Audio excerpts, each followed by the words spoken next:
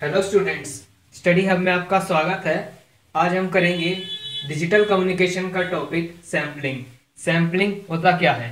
A continuous time signal may be completely represented in it samples and can be recovered back if the sampling frequency is greater than two times of the modulating frequency F S है हमारी sampling frequency और F M है हमारी modulating frequency इसका मतलब क्या है?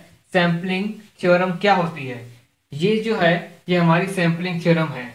ये directly to two three marks में पेपर में डायरेक्टली पूछी जाती है।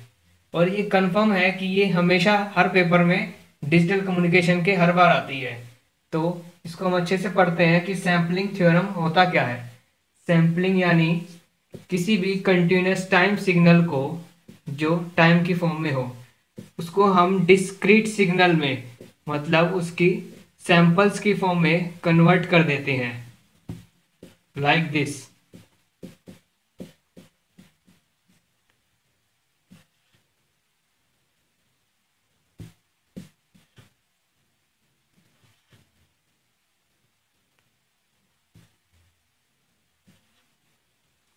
तो जब भी कोई कंटिन्यूस टाइम सिग्नल को हम डिस्क्रीट सिग्नल्स में कन्वर्ट कर देते हैं। डिस्क्रीट मतलब सैंपल्स डिस्क्रीट सिग्नल क्या होता है कि सैंपल्स जो होते हैं मतलब उस पर्टिकुलर पॉइंट में कंटिन्यूस सिग्नल के उस पर्टिकुलर टाइम वैल्यू पे उस सिग्नल की क्या वैल्यू है, वो डिस्क्रीट वैल्यूज़ होती हैं। तो ये डिस्क्रीट यानी सैंपल्स तो सैंपल्स में कन्वर्ट करने के बाद जो हमारा सिग्नल जनरेट होता है, वो होता है सैंपल्ड सिग्नल यही होती है सैम्पलिंग फ्रिक्वेंसी और सैम्पलिंग फ्रिक्वेंसी कंप्लीट कब बोली जाती है?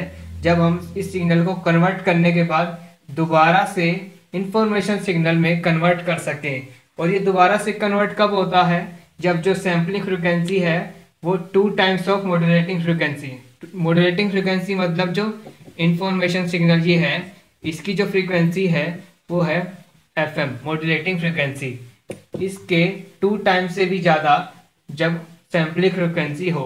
सैंपल्स की फ्रिक्वेंसी हो तो ये कंप्लीटली रिकवर बैक किया जा सका बैक किया जा सकता है उसी इंफॉर्मेशन सिग्नल में। तो ये होती है सैम्पलिंग और सैम्पलिंग थ्योरम तो स्टूडेंट्स इसी में एक टर्म निकल के आती है, जिसे बोलते हैं नाइकिस्ट रेट ये क्या होता है? When sampling rate becomes exactly equal to 2 fm samples per second then it is called Nyquist rate जब भी सैम्पलिंग फ्रिक्वेंसी हमारी two times of modulating frequency के इक्वल हो जाती है तो उसे हम नाइकिस्ट रेट बोलते हैं। It is also called minimum sampling rate ये मिनिमम सैम्पलिंग रेट होता है। क्योंकि जब हम सैम्पलिंग थ्योरम करते हैं तो जब इसको हम ग्रेटर देन इक्वल टू लिखते हैं तो जब इक्वल टू होता है तो ये नाइकिस्ट रेट कहलाता है। इसको हम अगर देखना चाहें तो कैसे देखेंगे? ये हमारी ओमेगा एस है।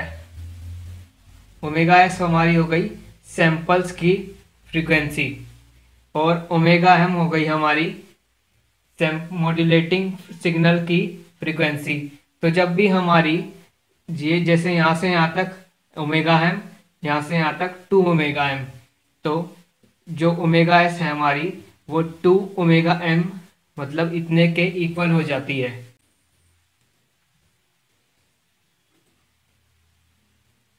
नाउ क्वांटाइजेशन क्वांटाइजेशन होता क्या है? To assign an amplitude value to sampled signal कोई भी सैंपल्ड सिग्नल होता है हमारे पास, अगर लेट करें हमारे पास ये सैंपल्ड सिग्नल है ये।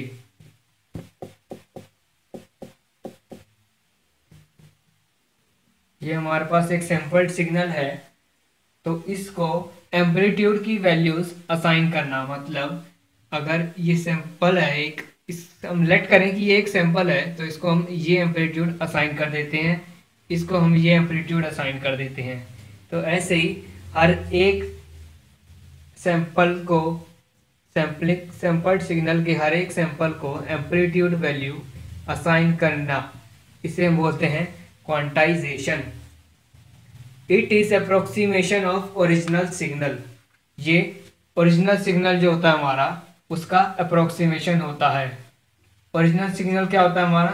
कंटिन्यूस सिग्नल तो इसका हम अप्रोक्स लेते हैं तो हमारा क्वांटाइज सिग्नल बनता है। इसमें क्या होता है? Total amplitude range total amplitude range जो होती है मतलब ये वाली।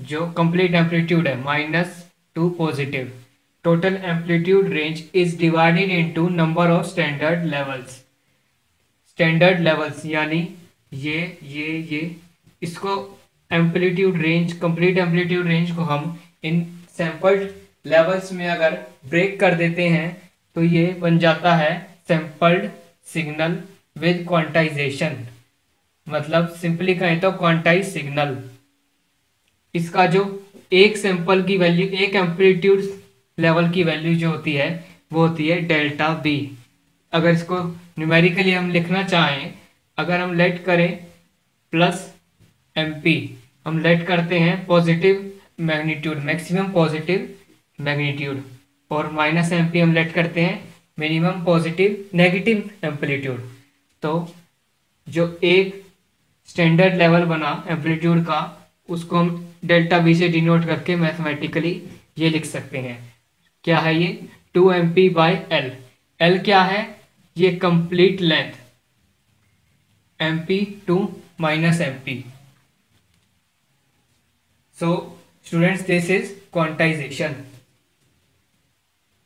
तो लाइक करें अगर वीडियो पसंद आई हो तो और कमेंट करें। आपका वैल्यूएबल सजेशन अगर हमें देंगे तो हम आने वाले वीडियोस में और इम्प्रूव करेंगे। एंड सब्सक्राइब करें। आगे की वीडियो आने, जो आने वाली हैं, वो आपको लगातार मिलती रहें। उसके लिए आप सब्सक्राइब करें और नोटिफिकेशन बेल पे ऑल का बटन दबा दें। Thank you